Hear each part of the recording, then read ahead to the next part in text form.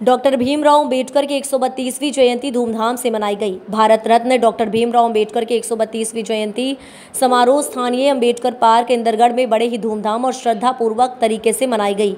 Doctor Bhimrao Ambedkar स्मृति सर्व जाटव समाज कल्याण शोध संस्थान द्वारा आयोजित रत्न डॉक्टर भीमराव अंबेडकर की जयंती पर सैकड़ों अनुयायियों ने अंबेडकर पार्क और नगर में निकाले गए जुलूस में सामाजिक कार्यकर्ताओं, महिलाओं और बच्चों सहित सभी ने भाग लिया।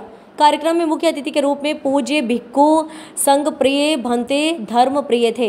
विशिष्ट स्थिति के रूप में कांग्रेस जिला अध्यक्ष राम किंकर गुर्जर और बीके जाटव सेवानिवृत्त जिला न्यायाधीश एवं विशिष्ट अतिथि के रूप में नगर परिषद इंदरगढ़ के अध्यक्ष श्रीमती गौरी मंडलिया उपस्थित रहीं। कार्यक्रम में अपना उद्बोधन देते हुए मुख्य अतिथि भंते जी ने सभी को बाबा साहब के बताए मार्ग पर चलने का आह्वान किया और भाईचारे का संदेश देते हुए समाज से कुरीतियों को मिटाने और शराब आदि नशीली वस्तुओं से दूर रहने की बात कही। इसके पूर्व सुबह बाबा साहेब के चित्रों पर और अन्य शाखाओं को लेकर आयोजन समिति द्वारा पूरे नगर में ढोल नगाड़े और डीजे बजाते हुए नगर में प्रभात फेरी निकाली गई, जिसमें सैकड़ों बाबा साहब के अनुयायियों ने भाग लिया।